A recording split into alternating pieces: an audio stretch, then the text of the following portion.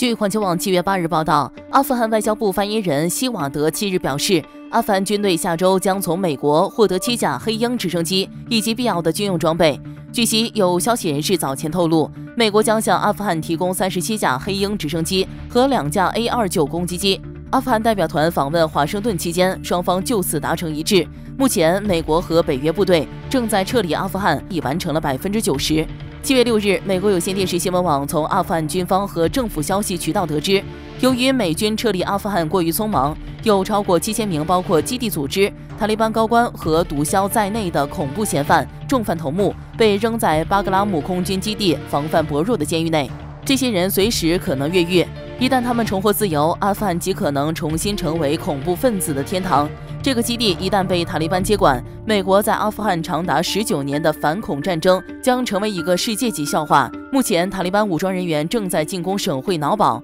据信，这是美国和北大西洋公约组织开始从阿富汗撤军以来，塔利班首次试图夺取省会城市。